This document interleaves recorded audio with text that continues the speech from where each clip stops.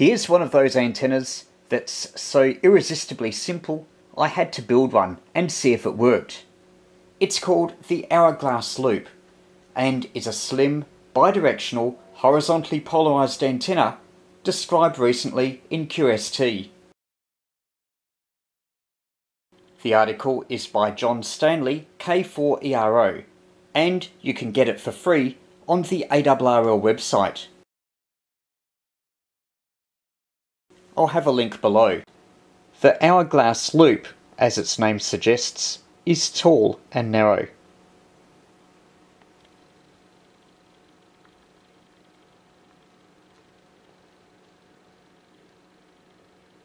The conductor comes together in the middle, but they do not touch.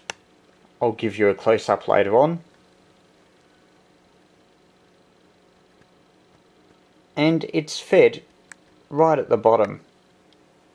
The antenna is basically a loop, two wavelengths in perimeter.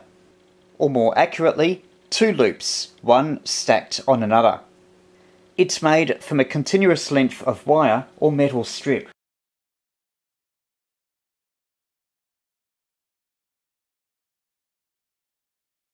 I used 4.3 metres, exactly the length described in the article. Like the author, I wanted to use it on the bottom end of 2 metres for SSB and WSPR contacts.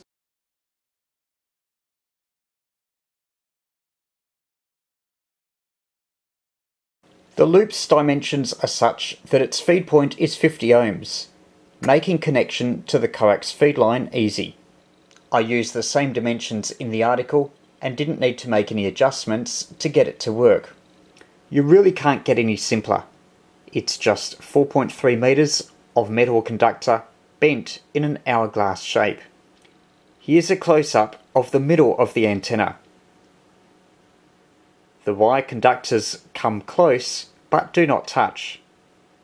You can see insulation from some old Cat5 cable and some cable ties to keep it mechanically rigid. The loop is about 37 centimeters wide and 180 centimeters tall. That could be handy for suspending from a high tree branch or even supporting on a telescoping squid pole. The narrowness may make it attractive for some portable applications compared to a dipole or beam which is about a metre wide.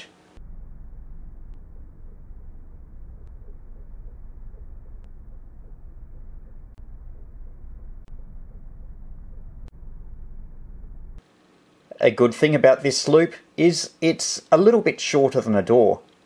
So you could mount it on a door and if you want to change direction, open the door. Although it's tall and thin, the hourglass antenna is horizontally polarized.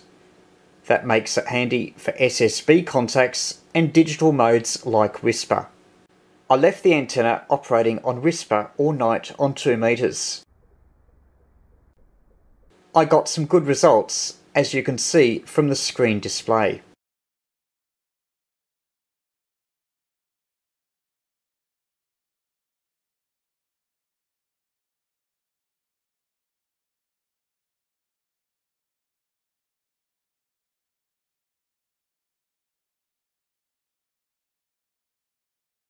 I haven't done a head-to-head -head comparison between the hourglass and the oblong loop that I featured in a previous video. But I suspect this would have slightly more gain. With it being so simple to build, and construction details readily available, why don't you get a piece of stiff wire, metal, bend it up, and build one yourself. It only takes half an hour. If you do make one, I'd be curious to hear your results. Please let me know in the comments below. It's getting warmer and the next Melbourne QRP by the Bay is coming soon. Saturday, November 2, here at Victory Park, Chelsea. Starting time is 3pm.